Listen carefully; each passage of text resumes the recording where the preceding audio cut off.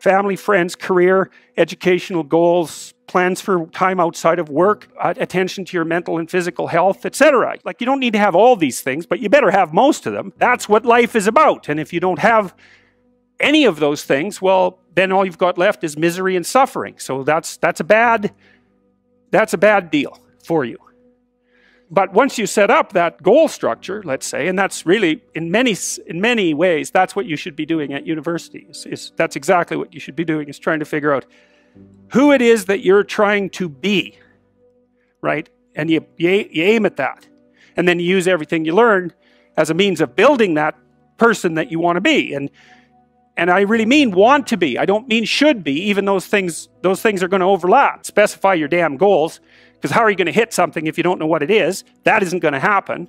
And often people won't specify their goals too because they don't like to specify conditions for failure. So if you keep yourself all vague and foggy, which is real easy because that's just a matter of not doing as well, then you don't know when you fail. And people might say, well, I really don't want to know when I fail because that's painful. So I'll, I'll keep myself blind about when I fail. That's fine, except you'll fail all the time then. You just won't know it until you've failed so badly that you're done. And that can easily happen by the time you're 40. I would recommend that you don't let that happen. So that's willful blindness, right? You could have known, but you chose not to. Apparently, millennials are tough to manage and they're accused of being entitled and narcissistic, self-interested, unfocused. But entitled is the big one. And because they confound leadership so much, leaders are asking the millennials, what do you want? And millennials are saying, we want to work in a place with purpose, love that. Um, we want to make an impact, you know, whatever that means. And yet, for some reason, they're still not happy. And that's because there's a missing piece. I can break it down into four pieces, four characteristics. One is parenting, the other one is uh, technology, the third is impatience, and the fourth is environment. The generation that we call the millennials, too many of them grew up subject to failed parenting strategies, where, for example, they were told that they were special all the time. They were told that they could have anything they want in life, just because they want it. Okay, so once you get your goal structure set up, you think, okay, if I could have this life, looks like that might be worth living, despite the fact that it's going to be, you know, anxiety provoking and threatening, and there's going to be some suffering and loss involved and all of that, obviously. The goal is to, to have a vision for your life such that, all things considered, that justifies your effort.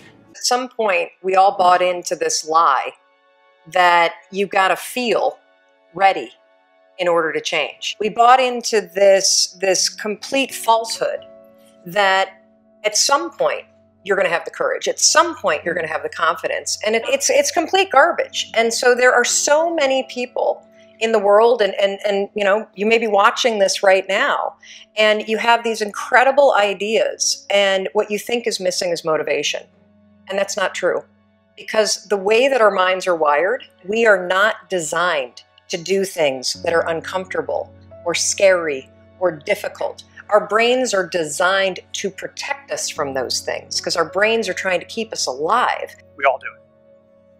We do it subconsciously. We're wired that way. We're actually looking for threats. Our ancestors, many years ago, weren't just looking for the saber-toothed tigers. They were worried about who they encountered and whether they would be friend or foe. Joseph LeDoux from New York University says that there's no evidence that our brains are hardwired for fear. What he does say is that we have the circuitry that allows us to check and respond in pre-programmed ways that's modifiable. The benefit of that is when you get a bad email, you don't have the same reaction as if you saw a saber-toothed tiger. And in order to change, in order to build a business, in order to be the best parent, the best spouse, to do all those things that you know you want to do with your life, with your work, with your dreams, you're going to have to do things that are difficult, uncertain, or scary, which sets up this problem for all of us. You're never going to feel like it.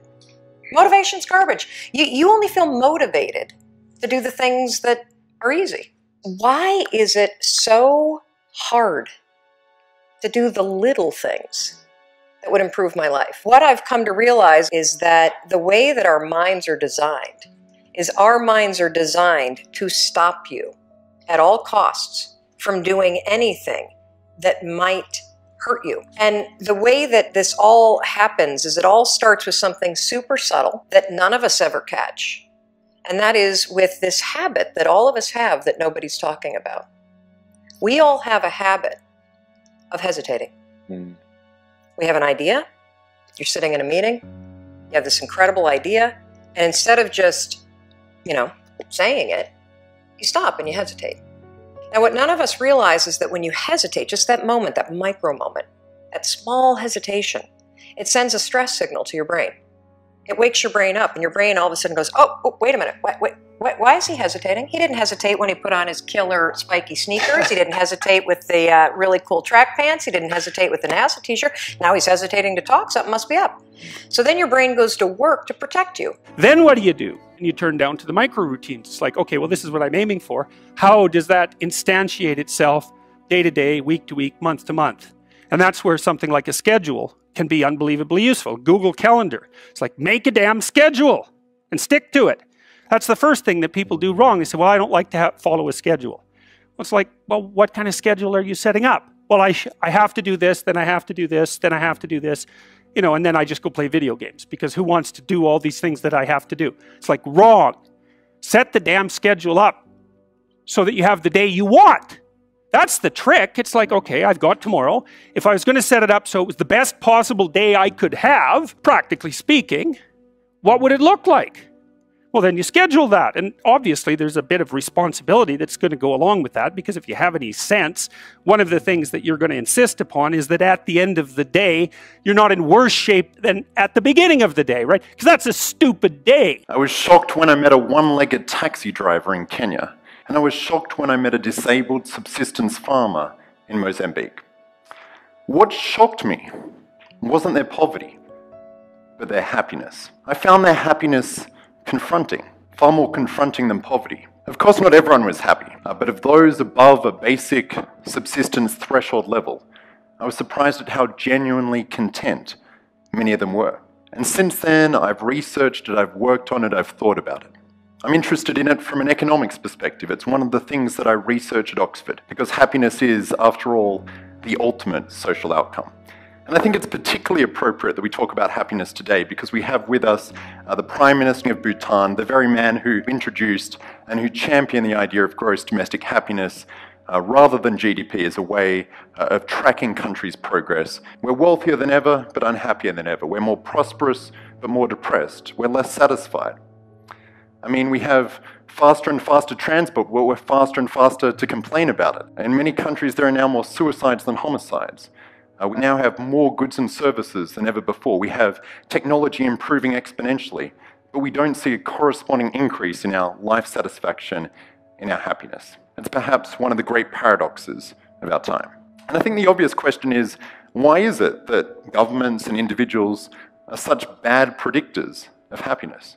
Why is it that we get it wrong so often? And I think it's because we don't really understand why it is that we're often unhappy. I think there's one explanation that I find far more compelling, far more plausible, far more persuasive than any other.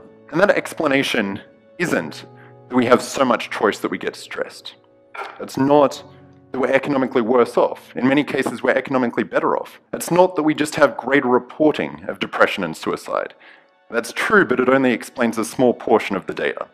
It's not due to family breakdowns or reduced freedoms. No, the reason why we're unhappy, the most compelling reason, as shown by the data, as shown by research, relates to expectations. At a very basic, simple level, we're unhappy when our expectations of reality exceed our experiences of reality. It's a very simple concept, but it's a hugely important concept to fully understand, to fully get our head around. And to help us get our head around it, I like to think in terms of three different types of expectation gaps. Three different types of gaps based on the different ways in which we form expectations. You see, when we choose to buy goods, we choose from a range of options. How do we make that decision? What we do is that we choose the one that we think will be the best. Now, the problem here is that the very act of choosing the thing that we think will give us the greatest happiness is the thing that actually undermines our happiness. Because what it means is that we, when we then see reality, when we then experience it, it's highly likely that that reality won't live up to our expectation, and that leads to disappointment. You have to negotiate with yourself and not tyrannize yourself. Like you're negotiating with someone that you care for, that you would like to be productive and have a good life. And, and that's how you make the schedule. It's like, and then you look at the day and you think, well, if I had that day, that'd be good. Great. You know, and you, you're useless and horrible, so you'll probably only hit it with about 70% accuracy, but that beats the hell out of zero, right? And if you hit it even with 50% accuracy, Another rule is, well, aim for 51% the next week, or 50.5% for God's sake, or because you're, you're going to hit that position where things start to loop back positively and spiral you upward. So that's one way that you can work on your conscientiousness, is plan a life you'd like to have. You have to understand that you're not your own servant, so to speak. You're someone that you have to negotiate with, and you're someone that you want to present the opportunity of having a good life to. You know, if you take people, and I've told you this, and you expose them voluntarily to things that they are avoiding and are afraid of, you know, that they know they need to overcome in order to meet their goals, their self defined goals. If you can teach people to stand up in the face of the things they're afraid of, they get stronger. And you don't know what the upper limits to that are because you might ask yourself, like, if for 10 years, if you didn't avoid doing what you knew you needed to do, by your own definitions, right, within the value structure that you've created to the degree that you've done that, what would you be like?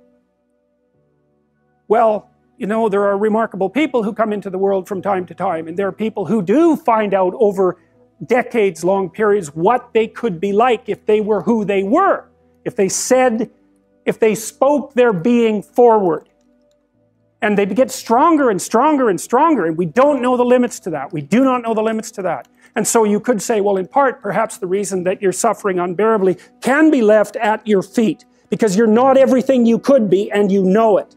And of course, that's a terrible thing to admit and it's a terrible thing to consider, but there's real promise in it, right? Because it means that Perhaps there's another way that you could look at the world and number, another way that you could act in the world. So what it would reflect back to you would be much better than what it reflects back to you now. Imagine that many people did that because we've done a lot as human beings. We've done a lot of remarkable things. Today, for example, about 250,000 people will be lifted out of abject poverty and about 300,000 people attached to the electrical power grid. We're lifting people out of poverty collectively at a faster rate that's ever occurred in the history of humankind by a huge margin. And that's been going on unbelievably quickly since the year 2000. So there's inequality developing in many places, and you hear lots of political agitation about that. But overall, the tide is lifting everyone up, and that's a great thing. And we have no idea how fast we could multiply that if people got their act together and really aimed at it. What would happen if you just stopped wasting the opportunities that are in front of you? You'd be who knows how much more efficient, 10 times more efficient. 20 times more efficient. That's the Pareto distribution. You have no idea how efficient efficient people get. It's off the charts. Well, and if we all got our act together collectively and stop making things worse, because that's another thing people do all the time, not only do they not do what they should to make things better, they actively attempt to make things worse because they're spiteful or resentful or all of those things all bundled together in an absolutely pathological package if people stopped really, really trying just to make things worse, we have no idea how much better they would get just because of that. You see, it isn't merely that your fate depends on whether or not you get your act together and to what degree you decide that you're going to live out your own genuine being. It isn't only your fate, it's the fate of everyone that you're networked with. And so, you know, you think, well, there's 7 billion people in the world, and who are you? You're just one little dust mote among that 7 billion. And so it really doesn't matter what you do or don't do, but that's simply not the case. It's the wrong model because you're at the center of a network. You're a node in a network. You'll know a thousand people at least over the course of your life. And they'll know a thousand people each. And that puts you one person away from a million and two persons away from a billion. And the things you do, they're like dropping a stone in a pond. The ripples move outward and they affect things in ways that you can't fully comprehend. And it means that the things that you do and that you don't do are far more important than you think. Of course, the terror of realizing that is that it actually starts to matter what you do. And you might say, well, that's better than living a meaningless existence. I can live with no responsibility whatsoever. The price I pay is that nothing matters. or I can reverse it, and everything matters. But I have to take the responsibility that's associated with that. It's not so obvious to me that people would take the meaningful path. If you live a pathological life, you pathologize your society. And if enough people do that, then it's hell. Really. And you can read the Gulag Archipelago if you have the fortitude to do that, and you'll see exactly what hell is like. And then you can decide if that's a place you'd like to visit and take all your family and friends. Because that's what happened in the 20th, 20th century. century.